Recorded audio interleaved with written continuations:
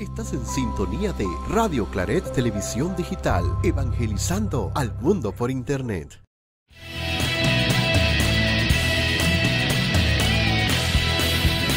Radio Claret Televisión, evangelizando al mundo por Internet. Muy buenas noches a todos, espero que estén súper bien y le doy la bienvenida y las gracias por estar una noche más aquí en Sanamente.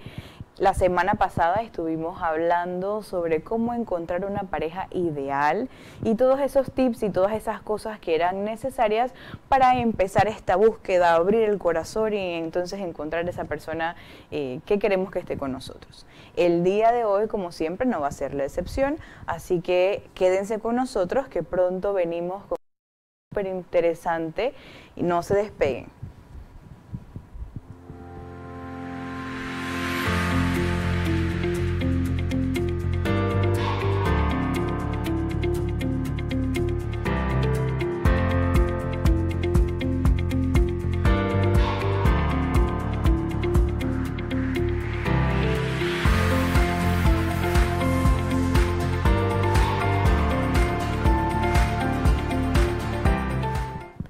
Bueno, y como se los dije, la noche de hoy nos acompaña la doctora Waldis Castillo, paido psiquiatra. ¿Cómo está? Buenas noches. Muy bien, Ángela, muchas gracias por la invitación. Bueno, a ver, bueno, ya dije que es paido, ahorita nos va a explicar qué es eso, pero cuéntenos cómo llegó usted a la psiquiatría. Bueno, cuando fui estudiando medicina, la verdad es que en los últimos semestres me sentí muy apasionada por los temas que tenían que ver con la mente, los trastornos mentales, pero siempre tuve inclinación por trabajar con niños y adolescentes. Entonces fui viendo en el camino que pediatría no era lo que me gustaba eh, y así fui labrando el camino pues hacia la psiquiatría y luego de culminar mis estudios en psiquiatría general, entonces hice la subespecialización en psiquiatría de niños y adolescentes. Bueno, entonces ya acabamos de escuchar eh, qué es la paidopsiquiatría, pero cuéntenos un poquitito más qué ve, qué revisa, a qué se dedica la paidopsiquiatría. Ok, bueno, la paidopsiquiatría es una rama de la psiquiatría.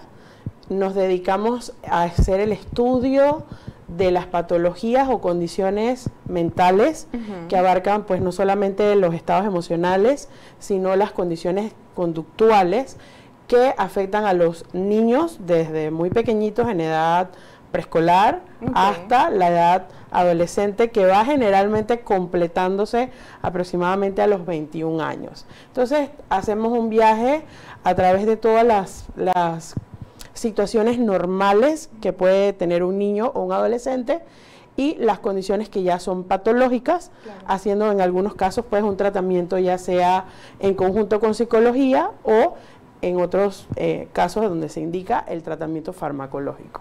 Súper, ok. Entonces, primer aprendizaje de la noche, psiquiatría, las cosas a las que se dedica. Y bueno, esto fue solo un resumen, porque bueno, habrán tantas cosas que trabajan, eh, tanto como psiquiatría, psiquiatría, ya sabrán ustedes, ¿no? Y los niños y los adolescentes, esos procesos, uno tiene que estudiar bastante para ser psiquiatra, me imagino. Sí, la verdad es que eh, algo muy bonito. Así que bueno, el tema de hoy nace porque personas que ven sanamente lo han pedido, lo han querido, y es la depresión y ansiedad en, ahí lo tenemos, niños y adolescentes en las dos.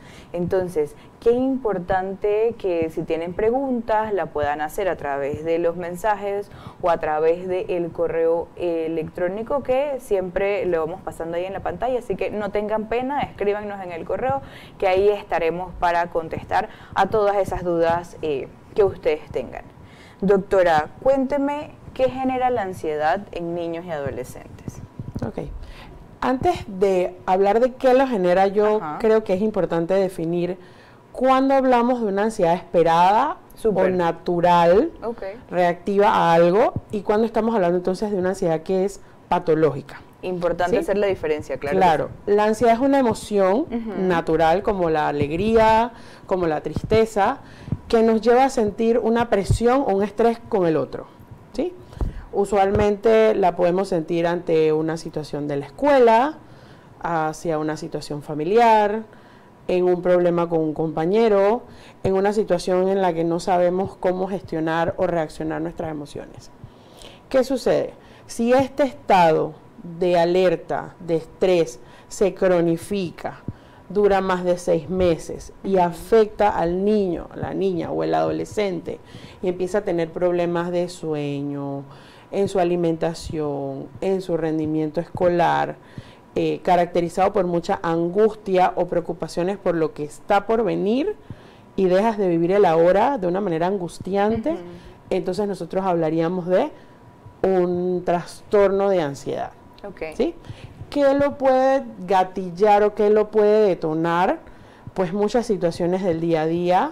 Sabemos, por ejemplo, en este momento, si nos vamos a los más pequeñitos e incluso a los grandes, temas en la familia, disfunción familiar, relaciones familiares caóticas, estilos de crianza donde hay un predominio de tensión, presión, vigilancia excesiva hace que este adolescente o este niño esté en un estado de estrés crónico.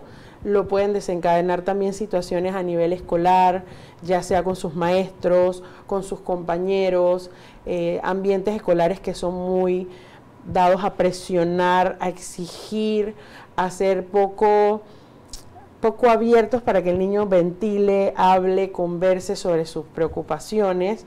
Y también en algunos casos pudiera suceder simplemente por una mezcla de factores tanto del ambiente del niño como cualidades de la misma personalidad que está en formación aún porque son niños o adolescentes donde tienden a ser muy metódicos, muy perfeccionistas, muy rígidos con sus rutinas eh, y la parte genética porque muchas veces también hay una un familiar, mamá, papá, abuelos que han sufrido o tienen también ansiedad. O sea que viendo esto es algo que puede ser genético. Tiene un peso tener carga genética, claro que sí. Ok, perfecto. Y qué importante es saber todos estos temas de la crianza, porque los papás, por querer que los hijos sean los mejores, por, por compararlos con los de los hermanos, los primos, los vecinos, siempre uno pone como esa carga extra sobre ellos, sin pensar, porque he escuchado comentarios como, lo que pasa es que en mi tiempo me exigían y no me pasaba nada. Que si a usted le llega un papá diciendo esto, ¿qué uno le dice a ese papá? Lo, lo dicen mucho, en realidad lo dicen mucho. Aquí estoy yo y yo le digo, bueno, estás aquí a pesar de, estás aquí a pesar de, de esos gritos, estás aquí a pesar de esa tensión. Pero si tú te pones a pensar, Ángela, en un niño, eh, por ejemplo, donde no se le permita opinar, donde todo tiene que ser a una hora exacta, donde hay patrones demasiado estrictos o rígidos, ¿cómo se sentirá ese niño? Angustiado. Y una persona adulta angustiada va a ser un adulto probablemente inseguro, un adulto temeroso, un adulto que no va a tener confianza en sí mismo porque aprendió que no lo estaba haciendo bien. Entonces, es sumamente importante trabajar esto desde la infancia para poder criar niños y adolescentes seguros que van a ser adultos seguros y confiados. Ok, entonces papás, cuidadores, tíos, todas esas personas que nos están escuchando ya saben. Ese comentario, yo siempre pienso, ¿no? Este comentario está como de más, porque sí, a pesar de que, a pesar de... Y uno no quiere que sus hijos o que los más pequeños vivan esa vida tal vez un poco conflictiva que vivieron las, las generaciones anteriores, ¿no? Entonces, importante, ya pues sabemos eh, cómo está el tema este de la ansiedad. ¿Existen en Panamá muchos niños que presentan estos temas de ansiedad o es una realidad que no vive el país? Sí, es muy común, es muy común. De hecho, después de los periodos de pandemia, hemos tenido un aumento notable de los casos, incluso en población infantil, donde no es que no pueda existir, pero es menos frecuente. Y también la ansiedad tiene diferentes ramas, ¿sí? Hay, por ejemplo, algunos niños que llegar a la escuela, bajarse del carro, llegar, ver el colegio, le genera mucha ansiedad, pero no otras áreas. Hay otros, por ejemplo, que siempre tienen, yo les digo, como una nubecita que va con ellos de preocupación. ¿Y qué pasa si? y, mañana cómo será y qué sucede cuando venga el domingo. Entonces son niños muy ansiosos, tensos, no descansan bien, no se relajan. Están otros, por ejemplo, que en una edad que no es esperada, no logran separarse de mamá, de papá, se les amarran de la pierna eh, en lugares de, de socialización cuando ya son más grandecitos, que ya no debería pasar. Entonces hay diferentes tipos de trastornos de ansiedad y va variando a medida también que el chico crece. A medida que el niño crece, es más claro en sus explicaciones. Cuando es más pequeño vemos más temas de conducta o síntomas como dolor de estómago, dolor de cabeza, más quejas en el cuerpo porque aún no pueden, como quien dice, centralizar o identificar dónde está su molestia. Y de hecho iba a preguntar eso, si la ansiedad, como los niños a veces no saben explicar muy bien si se podía notar en el cuerpo, porque tal vez como para eh, no sé, ejemplificar un poco qué tipo, de, qué tipo de cosas podríamos ver sabiendo que no siempre que pasa eso es que el niño tenga ansiedad, qué tipo de cosas podemos ver en el cuerpo que tal vez nos pueden generar alguna alerta o estar vigilantes. Claro. Podemos ver, por ejemplo, la inquietud o el sueño fragmentado, es algo que no es físico como tal, pero es una característica que puede notarse un niño que dormía antes muy bien y que empieza a tener despertares, que le cuesta quedarse dormido, eh, la onicofagia o el comerse las uñas, incluso muchas veces en grados más severos, eh, se comen la cutícula de sus dedos, están constantemente con las manos en la boca, eh, dolores o malestares estomacales de cabeza son los más comunes y este estado de tensión que pueden incluso a veces decir como taquicardia, eh, dificultades para respirar de manera súbita, en donde el niño no tenga otros temas médicos, son los más frecuentes. A veces ellos describen también boca seca, ardor en la boca del estómago. Eh, ellos, ellos lo logran describir bastante bien, pero esos son los más comunes que uno puede observar a la hora de la, de la entrevista o lo que los papás nos comentan. Tengo una pregunta, cuando un papá llega o un cuidador llega a donde usted, ¿llega directamente pidiendo esto porque cree que el hijo tiene ansiedad o llega referido por algún especialista? ¿Cómo sería como la realidad más común? Bueno, en, en un sistema de salud por ejemplo, la salud pública, ellos para acceder al servicio de psiquiatría de niños tendrían que pasar una serie de, sitios. Eh, generalmente vienen referidos de un pediatra, en donde en los controles, o ya sea que por esa razón se lleva al niño a atender, el pediatra identifica entonces los síntomas de ansiedad o emocionales o estos cambios súbitos que afectan el desarrollo del niño y entonces se puede dar que lo refieran a psicología o en algunos casos directamente a paidopsiquiatría. Si llega a psicología, el psicólogo entonces va a determinar la gravedad del cuadro.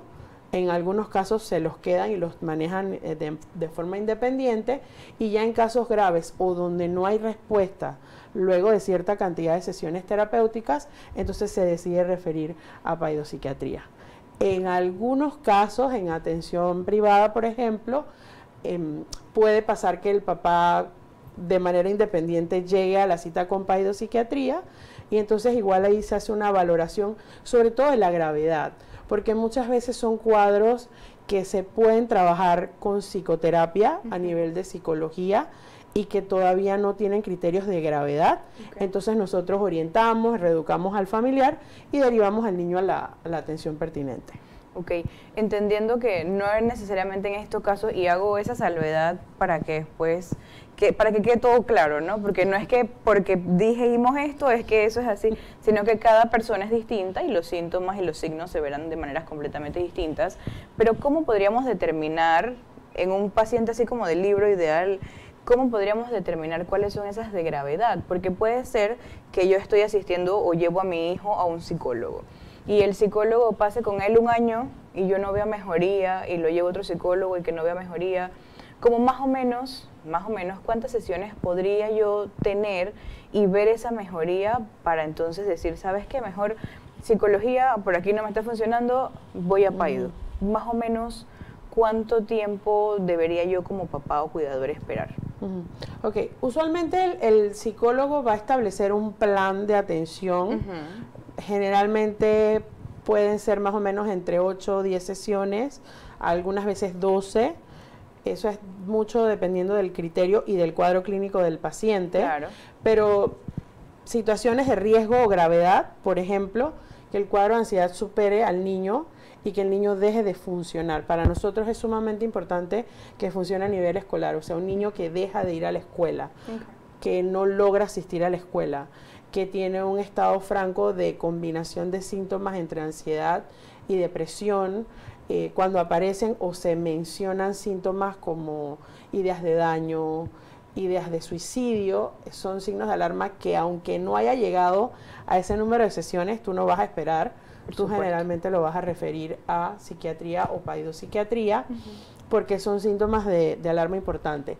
Si el niño deja de comer de manera súbita o presenta alteraciones en, en su conducta donde pone en riesgo otros niños, a otras personas, entiéndase sus familiares, maestros o a él mismo. Esos son por lo general los síntomas más eh, característicos de gravedad que hacen entonces que se derive directamente al paidopsiquiatra o donde el psicólogo diga, ok, te refiero, seguimos trabajando en conjunto, pero muy probablemente sí requiera entonces una evaluación ya del lado médico. Ok, entonces bueno, ya saben, importante lo que nos acaba de decir la doctora, para que ustedes que están en casa puedan ir viendo si presentan alguna de estas situaciones en su familia, familiares, amigos, eh, ya ir pues por esa línea de, de, poder saber dónde ir. Y una de las cosas más importantes, como siempre se los digo, es que a través de este espacio nosotros podemos también servir en algún momento de ayuda para alguna otra persona, porque es muy común que uno le comente a otras personas sobre alguna situación que uno está viviendo, entonces usted puede ser esa fuente de prevención o de apoyo para todas esas personas allí que estén buscando esa, ese espacio, ¿no? esa atención me gustaría eh, poder nuevamente poder ver esta diferencia entre este episodio de ansiedad que puede ocurrir por una situación cualquiera versus eh, el poder entender un trastorno de ansiedad, porque casi siempre y es muy social que la gente diga, ay, estoy, tengo ansiedad y entonces están comiendo y piensan que tengo ansiedad o que tengo depresión y me voy a hacer shopping y se me quita. ¿Cómo poder diferenciar entre estoy triste o me pasó algo y obviamente voy a estar triste. Bueno, ahorita hablando de ansiedad, porque lo, vamos a hablar de manera separada, eh, pero en ansiedad, ¿cómo podríamos diferenciar el trastorno? Y usted lo comentó, pero me gustaría volver a repetir. Yo creo que hay dos palabras claves para diferenciarlo. Uno es que la ansiedad natural o normal es un estado transitorio. Eh, va, viene el estresor, viene la situación con la que yo tengo que cumplir y voy a tener un estado de ansiedad que me va a llevar a ocuparme, a prepararme, a gestionar lo que tengo que hacer y luego resuelvo, funciono y pasa el estado de ansiedad. Ese es el estado de ansiedad natural. En un estado patológico voy a tener entonces una ansiedad sostenida que se va a cronificar. Cuando nosotros hablamos de cronificar estamos hablando de más de seis meses de estos síntomas la mayor parte de los días y que cause alteración en la funcionalidad. Entonces ya sería un estado que no es transitorio, que no se quita y que sea de manera transitoria y me afecte mi funcionamiento escolar, social o en la dinámica familiar. Ok, perfecto. Entonces ya estamos claritos en eh, lo que debemos ver, ¿no? lo que podemos observar. Cuando yo estoy pensando en ir al profesional, en este caso voy, quiero ir donde usted, eh, ¿cómo se trata? ¿Cómo serían esos primeros pasos para todo lo que nos están viendo? ¿Qué debo llevar? ¿Debo llevar papeles? A veces uno llega al doctor y no lleva nada y entonces tiene que volver y uno se enreda más. ¿Qué cosas debo hacer si llevo a mi niño, a mi adolescente o soy un adolescente y estoy viendo esto y me puedo identificar con esos síntomas? ¿cuáles serían esos pasos para acudir a la atención? Mm, es importante pasar primero por el pediatra, porque muchas veces los estados emocionales se deben a alguna disregulación o desbalance de algún otro órgano. Por ejemplo, un hipertiroidismo te puede hacer ver ansioso sin que mm. estés ansioso.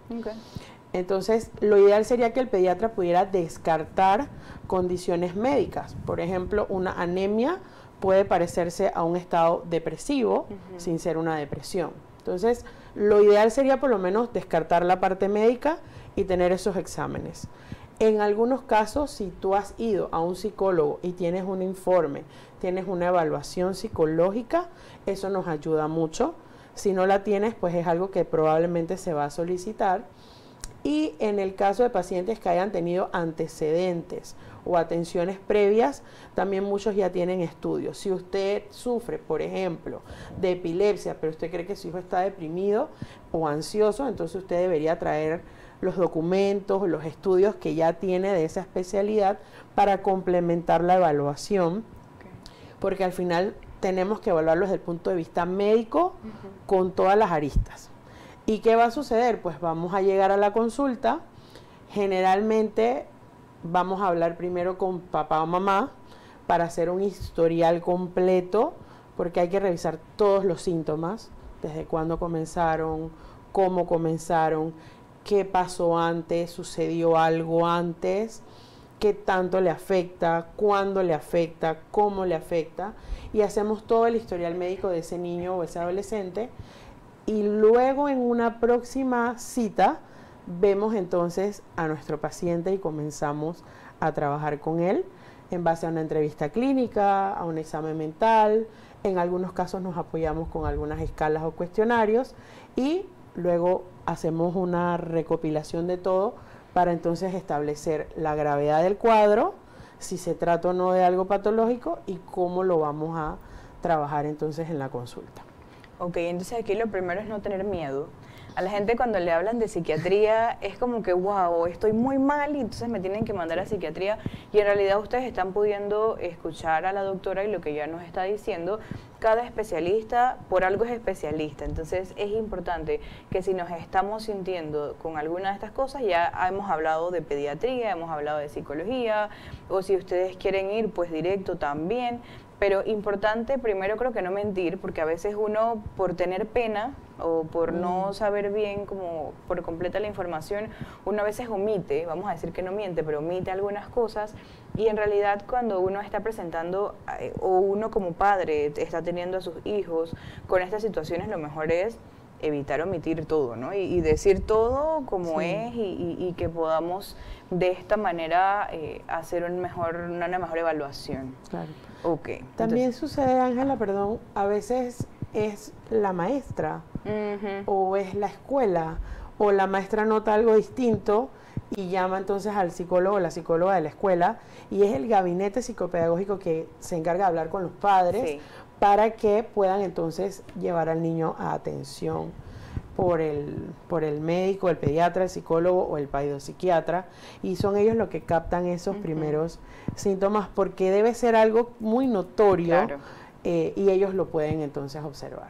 Yo siempre le llamo a ellos los maestros fabulosos porque es que es, tú pasas con ellos todo el día tú te puedes ir dando cuenta que hay algunas cosas pues que, que están ahí siendo distintas a, la norma, ¿no? Y, y qué importante que también podamos hacerle caso, porque a veces también llegan en algún caso pacientes que, que me dicen, no es que me lo dijeron, pero yo no lo creí hasta ahora que ya está un poco más complicado.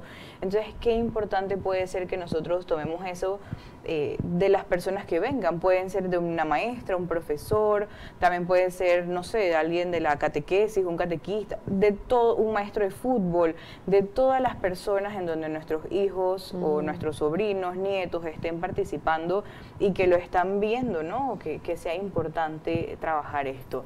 Ok, entonces, eh, hablando ahorita mismo del tema de ansiedad, ¿qué uno hace con los padres? Porque bueno, cuando estas cosas pasan, los papás también deberían tener un proceso terapéutico. Pero ¿qué sería lo más recomendado para los papás y cómo se trabaja? Ok. Con los papás trabajamos mucho o examinamos mucho primero si hay antecedentes o no de ansiedad y eso a veces es evidente. En la consulta vemos un papá o una mamá súper ansiosa que quiere escribir todo, que aún no nos conocemos pero ya ella trae 20 preguntas para hacer y a veces nos pasamos más la cita tratando de responder sus angustias en vez de ver la del niño. Entonces, En algunos casos nos toca referir a ese papá o a esa mamá a atención individual para que el niño pueda tener un proceso y una buena evolución.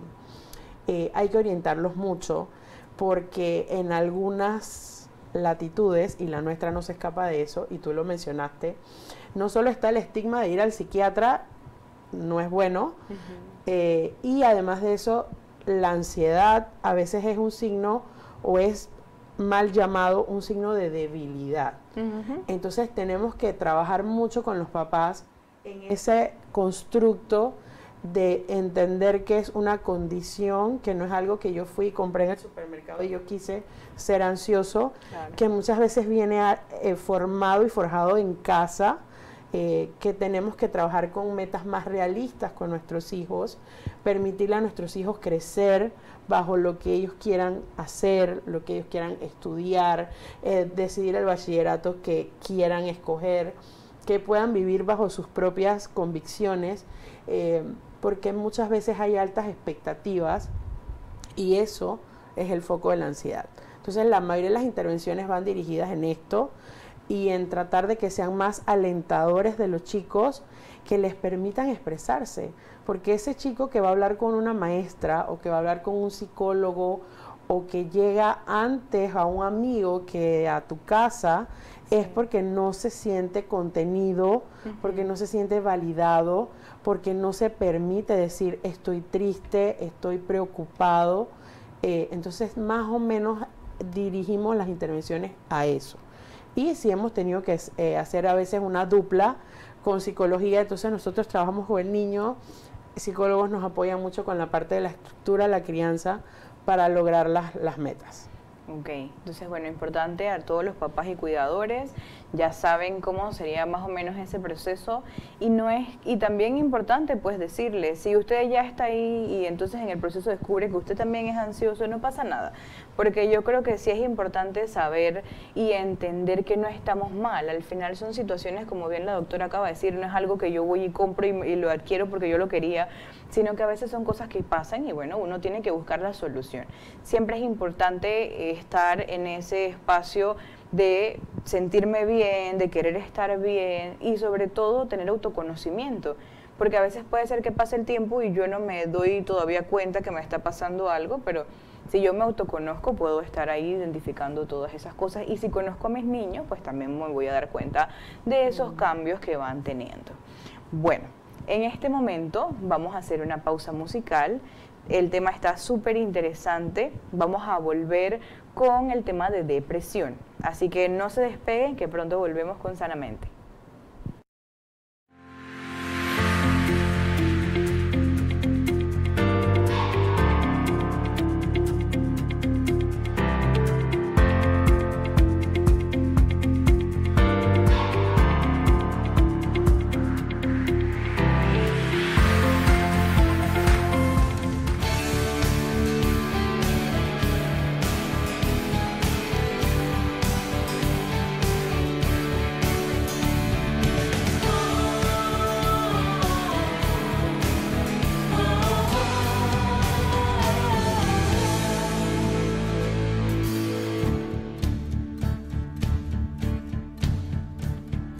pasé por quebradas oscuras, aunque deba caminar en penumbras, aunque la escalada se torne dura, no temeré, Señor.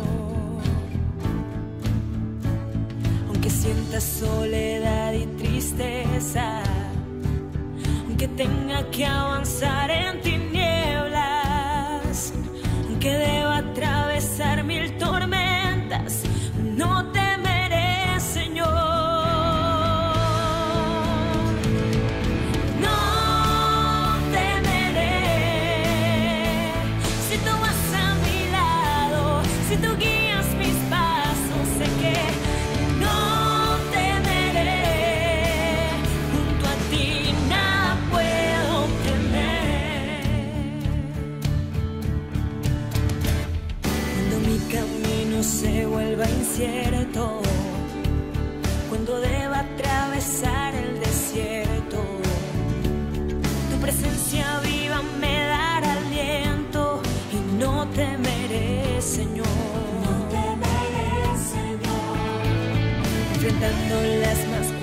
batallas a través de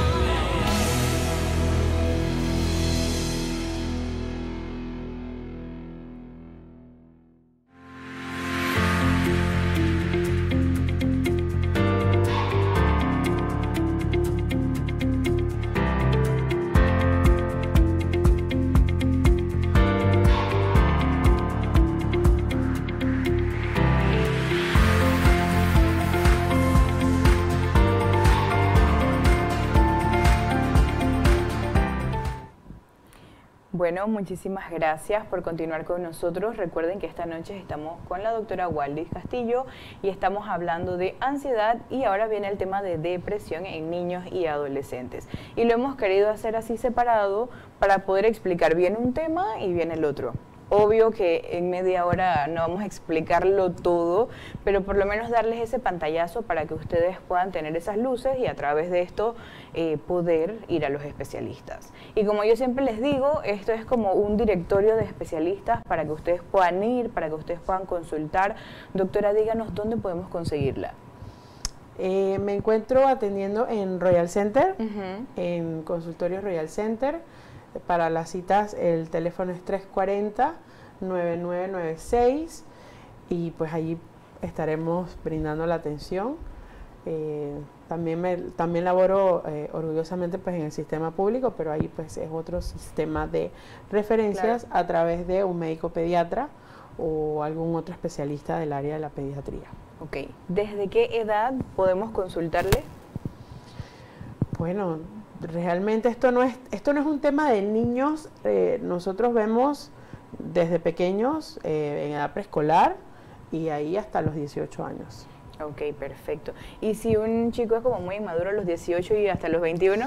¿Sí? ¿Lo atiende también? Bueno, depende. Si han venido conmigo desde antes de los Ok. 18, usualmente yo me los quedo mm, hasta que les toque darles de alta. Pero si es cupo por primera vez, usualmente no por la alta demanda que tenemos. Claro. Somos pocos psiquiatras en. Panamá y pocos hacemos práctica privada. Y como te digo, desde la pandemia yo creo que no hemos parado por la cantidad de casos que hemos tenido. Entonces ya si son mayores de 18, por lo menos en, en lo que a mí respecta, no los recibo por la edad. Ok. Eh, ya en ese caso puede ser psiquiatría o hay psiquiatras que ven tanto niños, adolescentes y población adulta también. Perfecto, bueno, ya saben, en Royal Center, ahí la pueden conseguir, así que eh, cualquier cosita, pues ahí vamos donde la doctora Wallis. A ver, ahora, empezamos con la depresión. ¿Qué es la depresión? A ver si nos puede eh, decir qué es, de dónde proviene, todos esos dati- datitos así que son importantes saber. Ok. Pues la depresión, Ángela, es una condición es un- una condición emocional que no es tampoco algo transitorio. Cuando nosotros hablamos de depresión, estamos hablando de un cuadro clínico que tiene una base médica, tal como la hipertensión, como la diabetes, como la artritis, eh, se debe a desbalances entre sustancias que llamamos neurotransmisores. Los más importantes, la serotonina, la dopamina, eh, que se, por decirlo de alguna forma, están en menos cantidad en las uniones entre las neuronas y esto entonces va a causar efectos a nivel emocional, a nivel cognitivo o intelectual y va a afectar también la- la- el grado de funcionalidad del, del adolescente o del niño. Es una condición que tiene también que ser duradera, no es la tristeza de que hoy yo traje un 2 y me esforcé mucho y me siento impotente, me siento triste, eso es una reacción emocional esperada para lo que me acaba de pasar. Claro. Si yo perdí a mi mamá, a un familiar, un ser querido hace una semana, es completamente esperado que yo esté triste, que yo esté un poco aislado o que yo esté inapetente, porque estoy haciendo un proceso de duelo, por ejemplo. Entonces la depresión sería una condición que va más allá de eso, eh, que debe durar más de dos semanas, igual en el tiempo, dos semanas por lo menos, donde hay mucho desgano, poca gana y motivación en hacer incluso cosas que me gustaban y muy importante, no tanto como en el adulto, que vemos más tristeza, llanto, en la población infantil o en, la- en los jóvenes vemos mucho enojo, vemos mucha irritabilidad, vemos mucha negatividad combinada con estos síntomas de dejar de hacer lo que me gusta. Y no es que deje una actividad para agarrar otra, es que no quiero hacer nada, me aíslo, me alejo de mis amigos, me puedo ir hacia el lado de comer mucho o por el contrario de no comer mucho y en los adolescentes vemos más la tendencia a estar más tiempo dormidos que a estar sin poder dormir. Eh, por ejemplo, mucho dormir en el día acompañado de estos síntomas es a veces un criterio para pensar en depresión. ¿Por qué será que duermen? ¿Por qué será que duermen? Bueno, depende mucho. Primero, eh, tenemos que hacer diferencias. Claro. Tú puedes tener un chico que se está durmiendo en el día porque no logra dormirse de noche, pero puedes tener otro chico que duerma en el día porque se está quedando hasta altas horas de la noche, por ejemplo, con dispositivos, con pantallas. Pero el efecto en, la, en el cuadro depresivo es que hay mucha apatía, hay mucho desgano, mucha fatiga y entonces ganas de no hacer nada. Entonces estos chicos pueden pasar tanto en la noche como en el día con mucho, mucho sueño, un estado de mucha, de mucha fatiga y el no querer hacer cosas que te gustan, que en términos médicos se llama anedonia, y cuando uno dice eso qué significa, pues es eso. Me gustaba el fútbol, de repente ya no quiero ir. Me gustaba tocar piano, ya no quiero. Y no es que lo cambio por otra actividad, eso es un dato bien importante, sino que simplemente dejo cualquier interacción social o actividad que me gustaba, la dejo de hacer. O, que, o sea que sería como desconectarme de, realidad, de la realidad.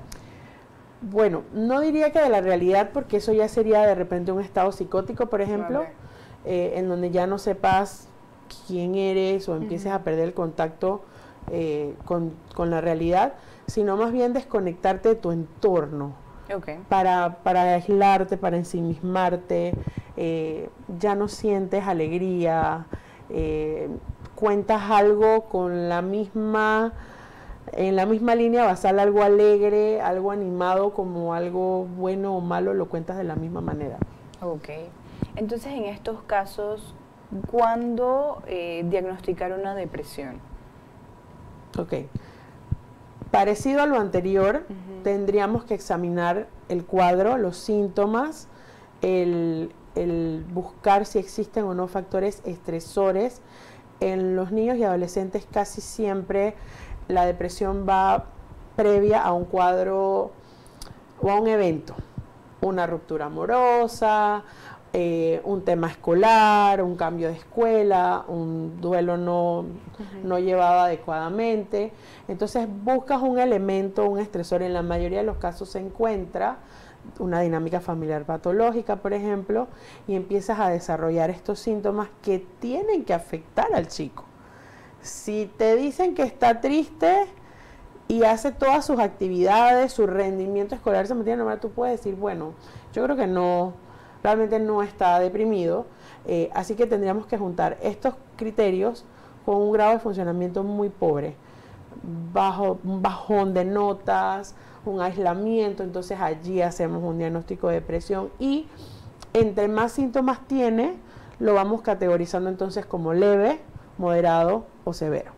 Severo van a ser estos cuadros donde hay un aislamiento franco, donde hay ideas de suicidio, ideas de muerte, eh, deseos de no poder cargar más con lo que se lleva emocionalmente hablando.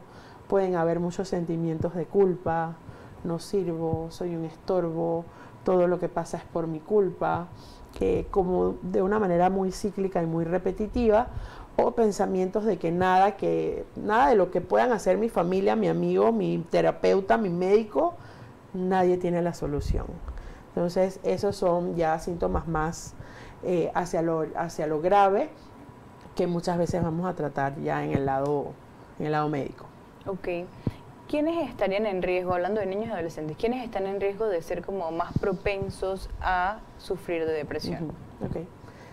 Personas o chicos que tengan antecedentes familiares de depresión o de trastornos emocionales, chicos que hayan crecido en adversidad, maltrato físico, abuso sexual, sobre todo en edades tempranas, porque estamos hablando entonces de un trauma muy, muy inicial, Claro.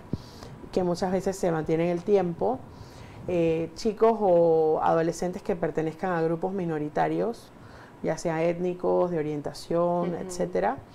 Eh, niños que sean o tengan alguna condición física que los, los haga propensos, por ejemplo, al acoso escolar, alguna característica física, alguna discapacidad. Son niños también que van a estar más expuestos a tener temas emocionales.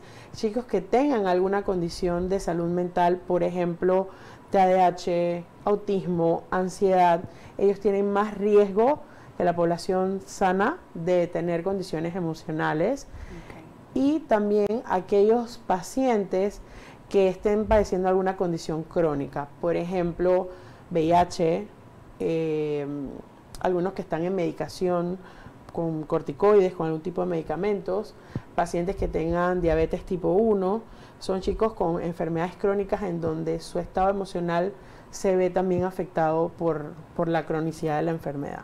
Ok, ok. Entonces es importante también si tenemos a niños o adolescentes con estas condiciones, uno puede estar como monitoreando, ¿no? Para ver en el caso de que pueda ir ocurriendo.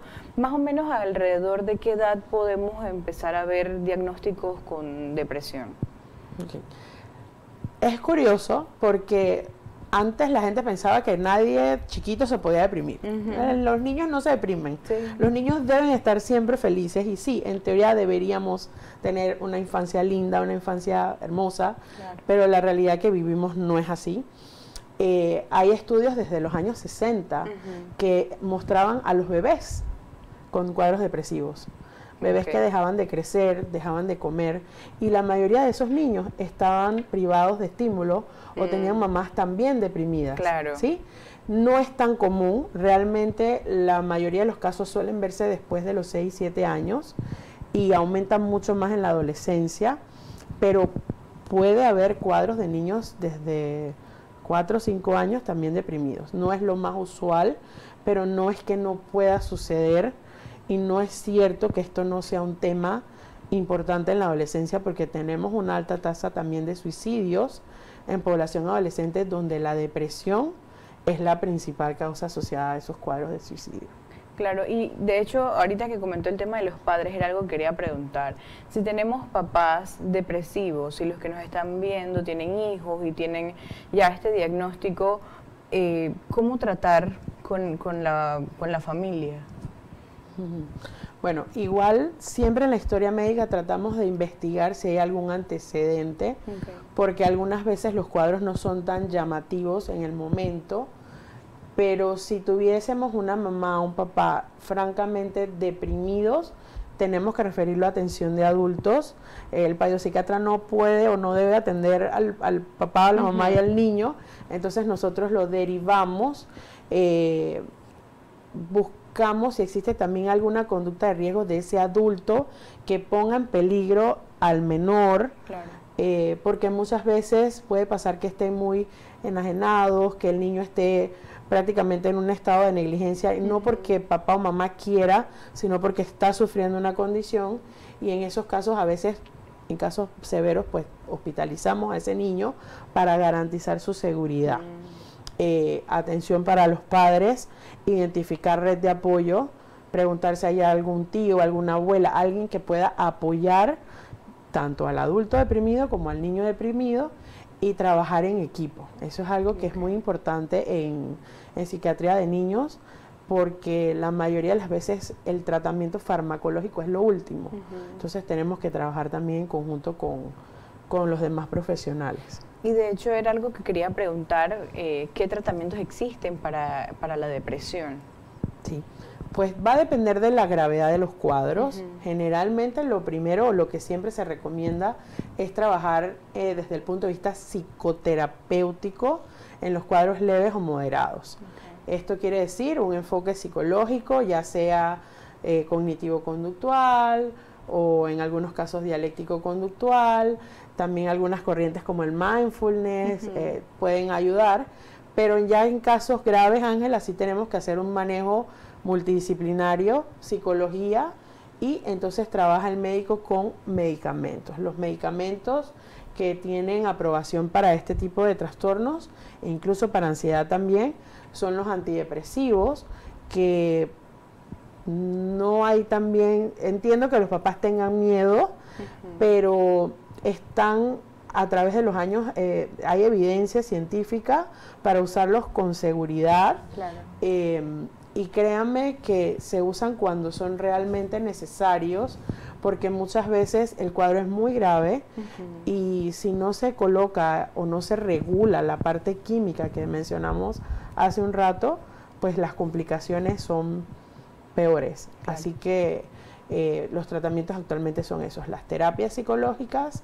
las terapias farmacológicas y en niños adolescentes se recomienda combinarlas, no dejar, eh, si está en tratamiento con pastillas, por ejemplo, se recomienda que siempre se haga un trabajo psicoterapéutico para educar, para trabajar herramientas, para mejorar las relaciones interpersonales y no quedarnos solo con un químico y, y nada más. Claro, y yo creo que aquí sí es importante eh, mencionar o recalcar el hecho de que si ya existe un tratamiento medicamentoso, los padres o los cuidadores no deben quitarlo abruptamente, porque a veces pasa y cuando llegan a consulta me dicen, no, es que yo se los dejé de dar porque pensé que al final nunca fueron al doctor, nunca hicieron, y cuando uno toma medicamentos es un proceso también para el dejarlos, ¿no? Claro. Entonces, qué importante puede ser eh, trabajar en equipo y usted es parte del equipo.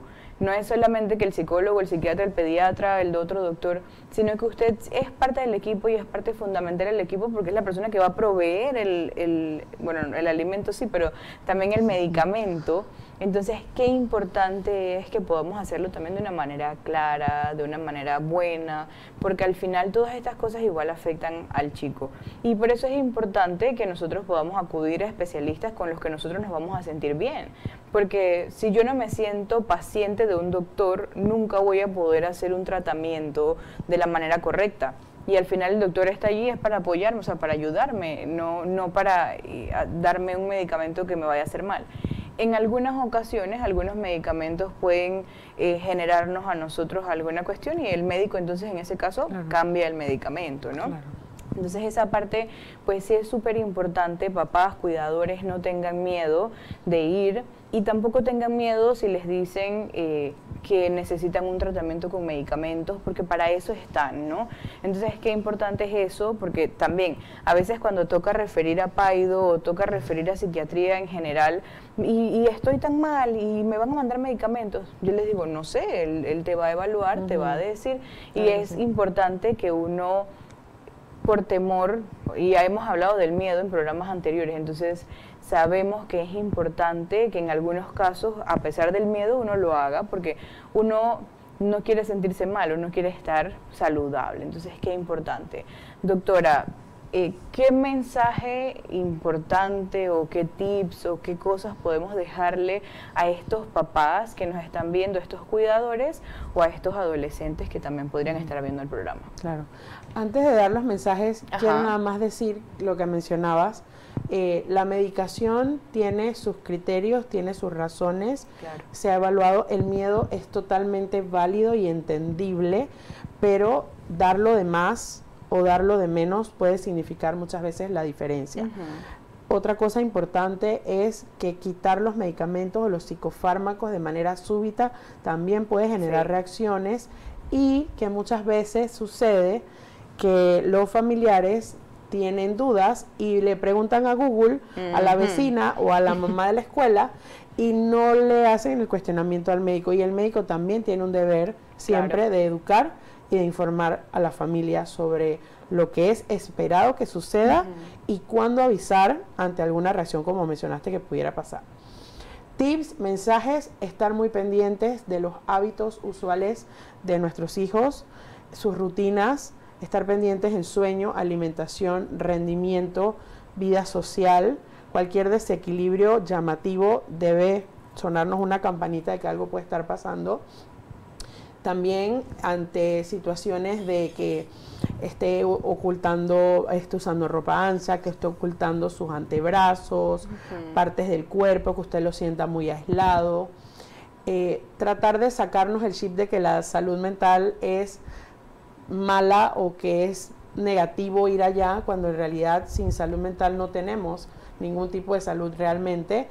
Y no se trata de dar frases como pon de tu parte, tienes que poner de tu parte cuando sabemos hoy en día que son desbalances en muchas ocasiones y que no es fácil para un niño o para un adolescente que está en desarrollo Claro. lidiar con conflictos que muchas veces lo sobrepasan o que son ocasionados a veces por su propio entorno. Entonces yo creo que eso, permitirles ser escuchados, permitirles hablar de sus emociones es clave, sobre todo hoy en día porque hay demasiado bombardeo por muchos medios eh, y, y mostrar esa empatía.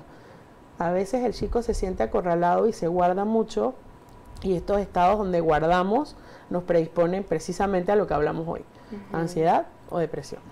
Claro, yo también creo que es importante eh, todo este, este tema de escuchar, de la empatía, de dar espacios seguros. A veces, y yo siempre lo repito en el programa, los papás no nacen con un libro de cómo ser papás y a veces uno va a cometer errores o situaciones y cosas, pero también uno como adulto, como persona responsable, como eh, persona responsable del cuidado de estos, uno puede ya sea pedir disculpas o, sabes, voy a reflexionar o voy al especialista, pregunto, voy buscando herramientas que me ayuden a, porque como comencé que decía, no, pero la gente dice que no les pasó nada y aquí estoy, pues sí pasan cosas y sí pueden estar ahí, pero ¿bajo qué costo? Entonces, no queramos tampoco, y si podemos, debemos darle la oportunidad a que nuestros chicos crezcan mejor, porque yo creo que eso es sumamente importante y más en estos tiempos en donde la salud mental ya no es ya no es tan tabú como lo era antes, porque sí sigue siendo, pero tal vez no tanto. Entonces, qué importante que podamos hacer nosotros esos agentes de cambio y podamos llevar a los demás esta información que también es valiosa. Así que recuerden que el programa queda aquí guardado para que ustedes puedan verlo nuevamente, escribir algunas cositas ahí que, que son interesantes eh, y que les parecieron importantes y sobre todo para compartirlo con otras personas para que también escuchen este tema. Doctora, recuérdenos nuevamente dónde podemos encontrarla. Consultorio Royal Center 340-9996. Y nuevamente gracias por la, por la invitación. Sí, muchísimas gracias. Yo siempre tengo como una anécdota de cómo conocí a la persona que traje y tal. eh, y de verdad que, y bueno, la, la conocí porque es esposa de uno de mis profesores que quiero muchísimo y le mando un saludo al profesor Ricardo.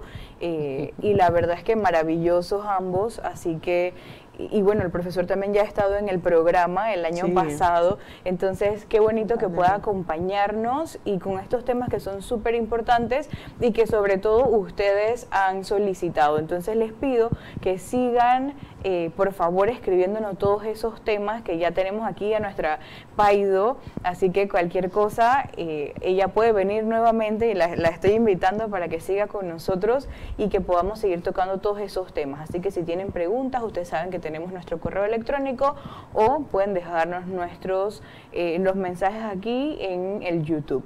Además de las redes sociales en donde también pueden dejar todos estos mensajitos.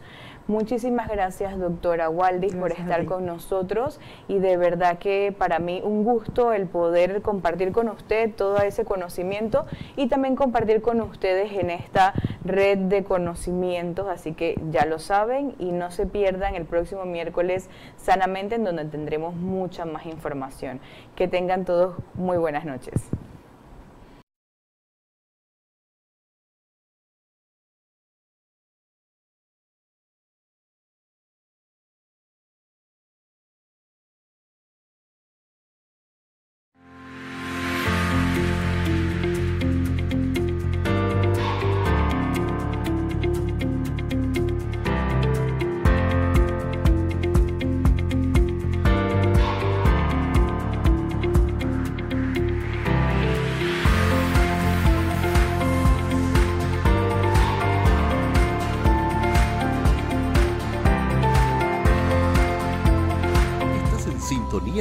Radio Claret Televisión Digital, evangelizando al mundo por Internet.